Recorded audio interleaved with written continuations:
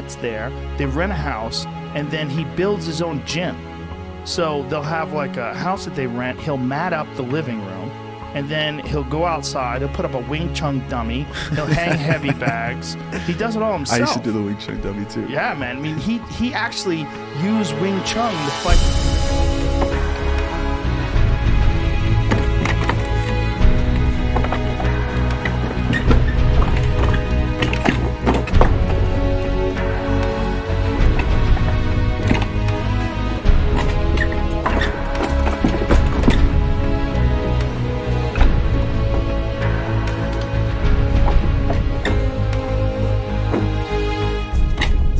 Trapped his hand and hit him with an elbow once.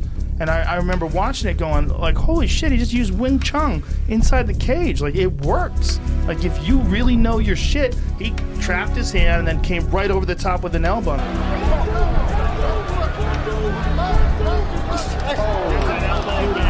the hand, slip over the top.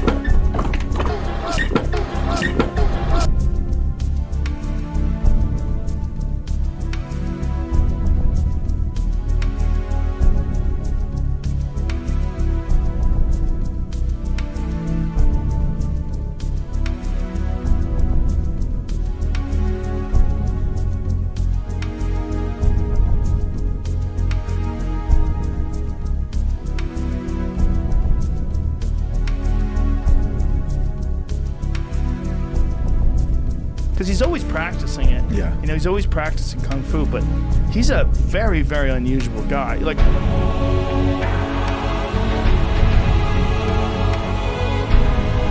only thing that worries me is moving back this much is exhausting